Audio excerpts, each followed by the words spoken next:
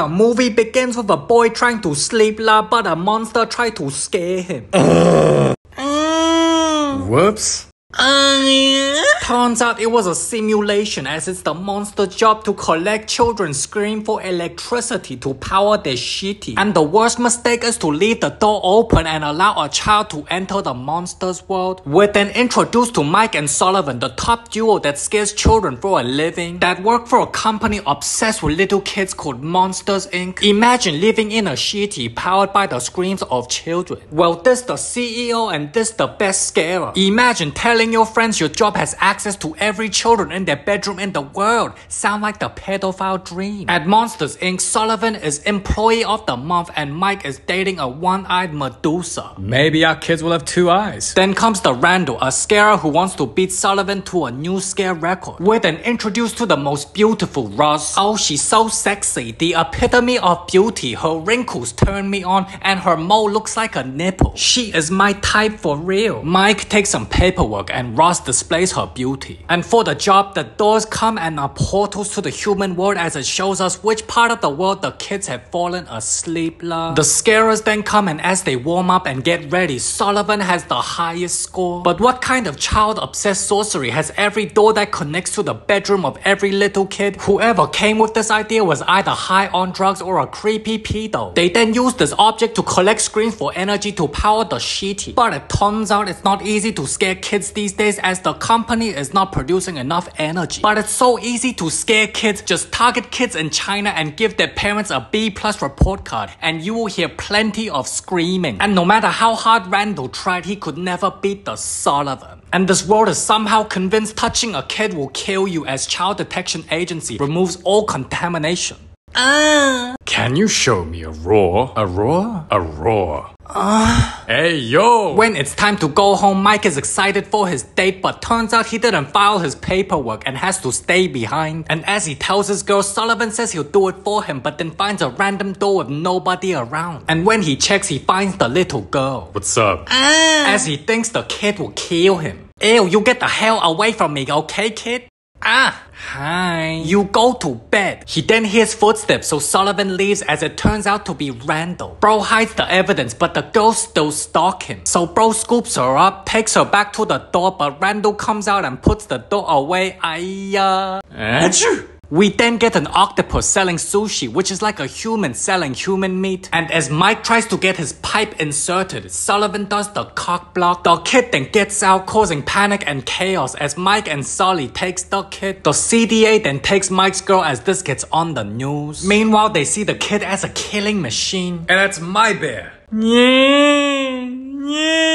When a child cries, it affects the electricity, and when she laughs, it's even stronger. Sully names the kid Boo as Boo draws him, gets tired, goes to bed, scared of Randall, so Sully comforts and Boo goes to sleep. Sully starts to think Boo is harmless and creates a disguise to send her home. She then does a little dance. Hey, yo, I gotta pee. Oh. Then we start seeing bonding time with Sully and the kid getting along. Where is she? Teehee. While Mike Wazowski didn't do his paperwork, Boo then comes scared as they hide from Randall, who freaks out looking for the kid. Yes. We gotta get her back home. Ta-da, her door. Mike, that's not her door. Wait, where'd she go? While Medusa gets upset she did not get piped, Mike tries the non-consensual risk. Randall then finds Mike on the newspaper. So he tells him to bring the kid during lunch break and he'll bring her door to put her back in. While this little shit keeps running away, Sully gets distracted. Honestly, at this point, just leave the baby to rot. Sully then thinks she's at the garbage dump where she gets crushed and turned into a lump of trash la. Just look at his face, he thinks if he has kids, it's going to end up like that now. When in reality, she's just chilling with other kids. Mikey then meets Sully who tells him the sad news, only to find that little brat one minute later. If you don't want her to run away, try the bamboo stick, very effective. So they run and find Boo's door like Randall said, but Sully doesn't trust him, so Mike goes inside to prove it safe and gets captured. Randall kidnaps him, but how the hell did he not see it was Mike On the bed, this lizard needs glasses. Boo then finds a secret door which helps Sully find Randall, who gets mad at Mike and shows him a machine that will change the scare industry. It's called the Glock Glock 4000. Then the power goes out and when Randall checks and fixes it, he comes back to see his co-worker get his soul sucked out of him. Oh, he got that good Glock Glock. Sully and Mike run away and had a chance to leave, but Sully decides to tell the CEO. But the CEO doesn't listen and pressures him to roar and show a demonstration. Roar. Rah. Uh, uh. Boo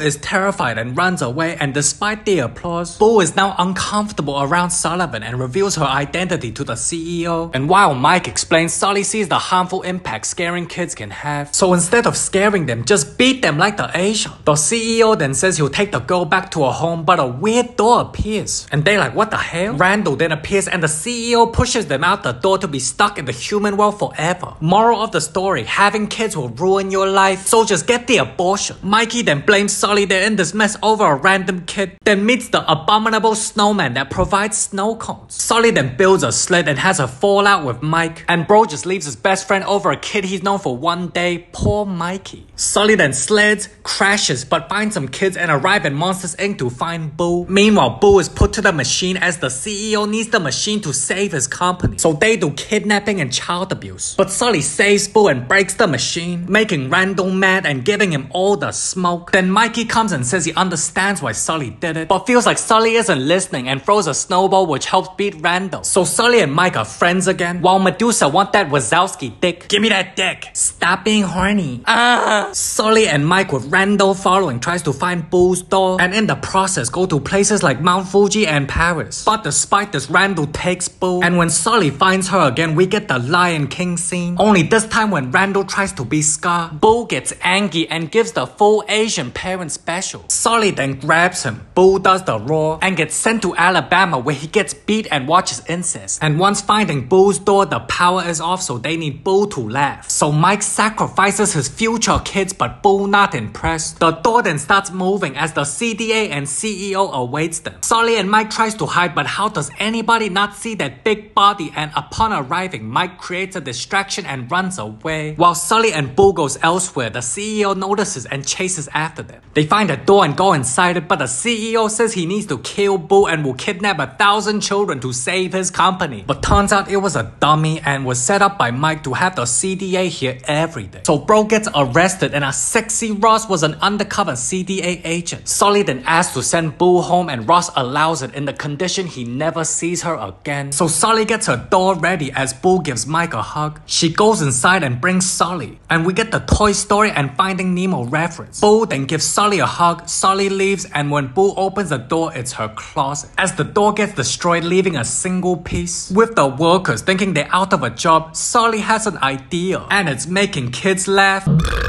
Since laughter produces 10 times more energy than screams, workers are now required to make kids laugh. We then find Sullivan as the new Monsters Inc. CEO with business booming better than ever. Mike is happy with his girl cause look at what them snakes can do. But Sully misses Boo, so Mike surprises him with Boo's door as the best friend did it himself. So he fills the missing piece, opens the door and finds Boo. And this created the obsession to meet more and more kids as this is the story of how Sullivan became the world's greatest pedo. The end.